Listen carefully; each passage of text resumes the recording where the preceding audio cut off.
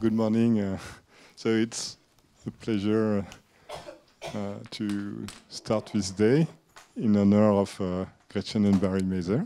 So uh, uh, this uh, day was made possible by the creation of a new chair, a triennial chair of, for visiting professors at IHES. So um, it was uh, uh, named uh, Gretchen and Barry Mazur after a gift of Will Hearst, who is coming today, and it's a pleasure to thank him. So um, I should say that it was uh, really pleasant to have a, a, chair at the name of uh, the Mazurs. Uh, Barry has been quite involved at uh, IHES uh, at the time. And I think uh, for us, you you had a, such a profound impact in the math uh, who have been developed here.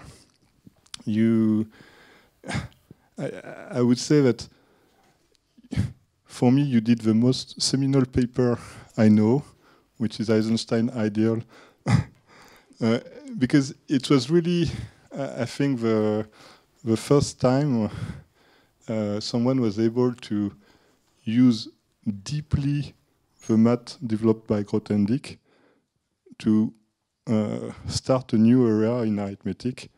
And um, I, for me, it was really um, a very important paper at some time. Uh, when I came back from Brazil, where I did my thesis, we started a small uh, working group. And uh, at this time, you were working with Kamienny on generalization of this result.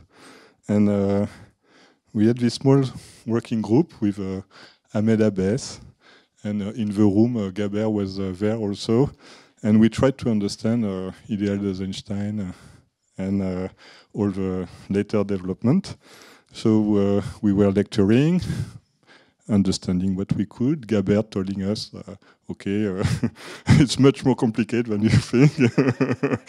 yeah, and, uh, and we learned a, a lot. Um, Loic Merel was in the room.